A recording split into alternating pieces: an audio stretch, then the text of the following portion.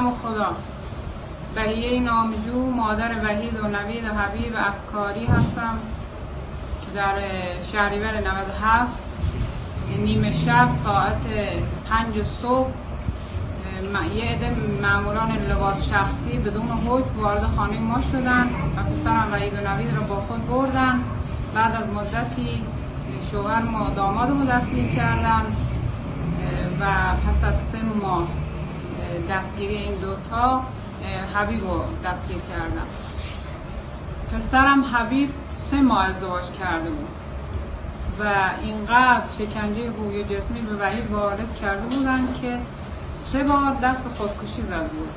ولی خدا او رو جون او رو به ما برگردون خدا او رو نجات داد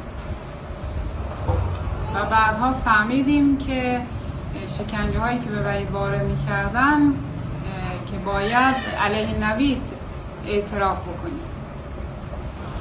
یک جلسه دادگاه نادلانه و دروغین برگزار کردن که بچه های من اصلا از خودشون نتونستن دفاع کنن.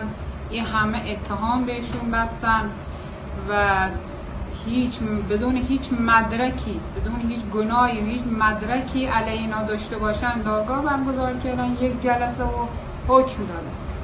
که الان حکمشون اومده و حکم حکمی که اصلا نمی‌تونم به زبون بیارم برای نوید و 25 سال برای وحید و حال از تمام مردم دنیا از تمام مردم ایران از هر که صدامو میشنوه تقاضای کمک دارم که بی اثباتی بی گناهی بچه هم در دادگاه راستین و درستین برگزار بشه و تقا آجزان تقاضای کمک به هر که صدای منو میشنوه دارم.